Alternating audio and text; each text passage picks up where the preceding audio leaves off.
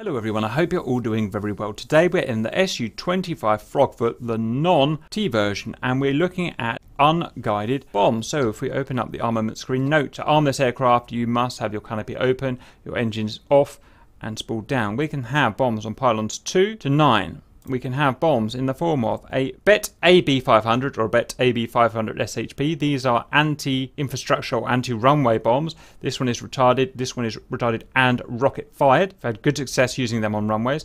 The FAB series, these are non-guided, slick, high explosive munitions similar to the NATO Mark 82, 83, 84 series, 100 kilo overall 250 kilo overall, 500 kilo overall, and in the same vein, we've got a multiple ejection rack, an MBD2 67U that can carry four times FAB 100s. Then we've got the dispensers. These dispenser canisters stay attached to the aircraft but dispense small submunitions.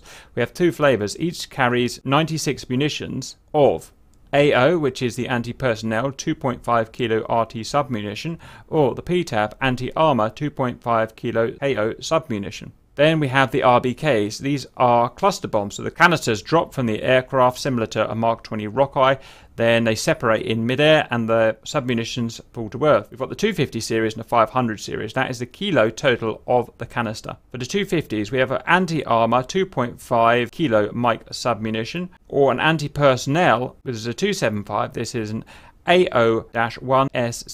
These are 1 kilo anti-personnel submunitions. Onto the 500 series. This here is a PTAB anti-armor 1 kilo submunitions or the 255 series PTAB anti-armor 10.5 kilo submunitions or the U OAB 2.5 kilo airburst RT anti-personnel submunitions. And finally, the SAB 100. These are illumination bombs which last between 1 and 5 minutes for relatively high altitude use. For today, we're going to have a good mix. On the inner racks 5 and 6, we're going to have the multiple ejection racks with the FAB 100s. Pylons 4 and 7, we will have the dispenser canisters, anti-armor flavor, Pylons 3 and 8, I'm going to have iron bombs in a Fab 500 kilo Mike 62 version. And finally, pylons 2 and 3 will go for the RBKs, the 500 series. And we'll go for, I think, the PTAB uh, 1 mics. I'm not sure if that's going to damage our targets, but it certainly, it certainly will look cool with 1 kilo sub munitions armor. Let's look at today's controls. To drop the bombs, push and or push and hold weapon fire, to switch to air to ground mode, that, to cycle between weapon stations, that. Next, change our ripple quantity select like that, to increase or decrease our ripple interval, that there, to raise and lower our aiming glass, our gun sight, that, and that, to toggle on and off our laser rangefinder, which we'll need, that there. Let's start by going air to ground mode. If we look at our weapons pylon display here, we can see we have the various stations. We choose them in pairs, which we can cycle between them with weapon chains. That's our multi-rack bombs, our RBK 500s, our FAB 500s, and that's our KGMU dispensers.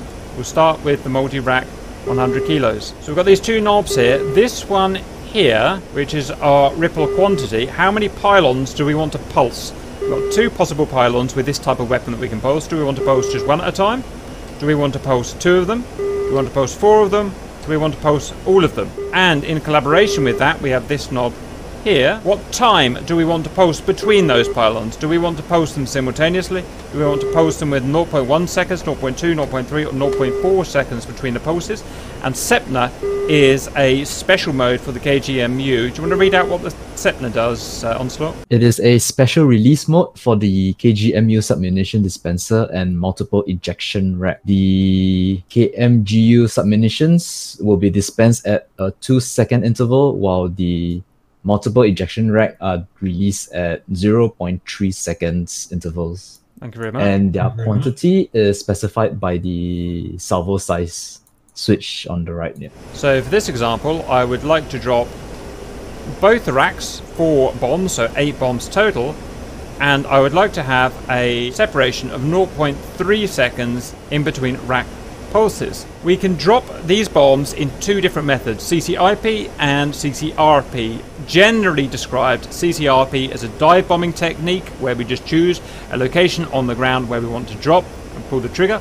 CCRP is a little different, where we drop these either in a dive or in level flight on a pre-selected area on the terrain. We will drop the Fab 100, 250, 500 and the multiple ejection rack Fab 100 and RBKs with the CCIP method, and the KMGU dispenser canisters will be using the CCRP method. So we'll do the CCIP dive bombing first. And the different bombs have different requirements, but it's generally safe to say that we're going to drop in an airspeed envelope of between 500 kilometers an hour to 700 kilometers an hour, with a dive of approximately 10 to 20 degrees from at least 2,000 meters AGL. We're going to unpause, get in that bomb profile, and we'll explain the symbology as we go further. Targets identified on our left, 2,000 meters, rolling in from the east. Change our aiming glass if we need to. Next, we're going to turn our laser rangefinder on. Note that the laser rangefinder will be on and show a green light. It can only last one minute at a time before it needs turning off to cool down. Once we are in range of the target to drop the bombs and have launch authority, we will have a orange light showing here. That's when we drop the bombs. If we are too close to drop the bombs, then a red light pull-up cue will show here. Regards our symbology here, we've got our CCIP aiming cross here. That dot there on the terrain shows where our bomb will fall in our current dive. So it's just essentially we need to aim at that on the target once we're in range. That there is our roll cue, currently showing we're slightly wings left. That is perfectly wings level. That is 30 right, 60 degrees right, 90 degrees right. It is imperative that we do wings level for dropping bombs. This is our range scale here, that zero range in terms of slant range from us to the ground projected through our CCIP pipper there. That is our current range. It will reduce as we get closer. Once we get to the certain point are in range, then our orange light will show that we can drop the bombs and we need to drop the bombs and complete before the red light shows here. We'll use our ADI here to determine the steepness of our dive. We're currently about 15 degrees, which is perfect. And you can see we're diving below there and we're perfectly within our 500 to 700. So let's go in for a drop. Let's wait for the orange light, put it on the target, retrim to suit, off the power. Wait for a wait, wait, wait. And drop. Boom! Haha, gotcha. We need to turn our laser ranger off uh, after we've done our bomb. ring. Next is going to be our two Mark 62 Fab 500s. So let's put them there. That's got them selected. We're going to drop two pylons selected here, so we're going to pulse both pylons. I want to choose here with instantaneous or salvo, so I'm going to change the ripple interval back to zero.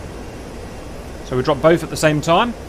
Let's get up to 2,000 meters AGL and go for another drop. You can adjust your gun sight glass as required. 2,000 AGL turning in. Laser ranger on. Right, see if we get rid of these guys. Ranger's coming down. Launch authority. Drop. Good salvo.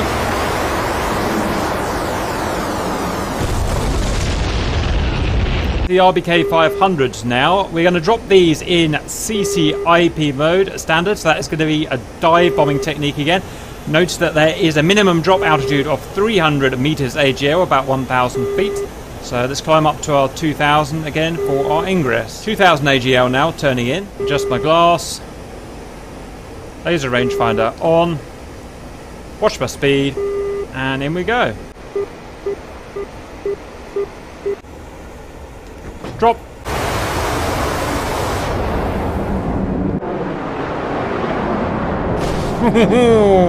Get some.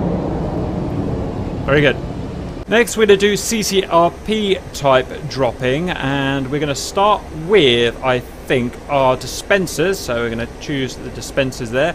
We can go in a dive or level for this, probably even in an ascent. I don't know why you'd ever want to do it. In this case, we do not need our 2,000 meters AGL ingress altitude. Okay, we're running on the target now. We're going to do a low level level bombing for this. Probably need to aim our glass down a bit for this.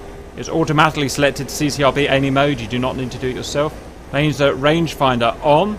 What we're going to do in this case is to position the CCRP cross on a target, then push and hold the weapon fire button, then fly wings level directly over the target, at which point the bombs will be dropped not by us, but by the weapon control system, we'll pulse the pylons and drop them. So it works a different way.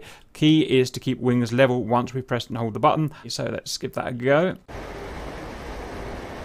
Okay, get some of these guys over here. So wings level, push and release.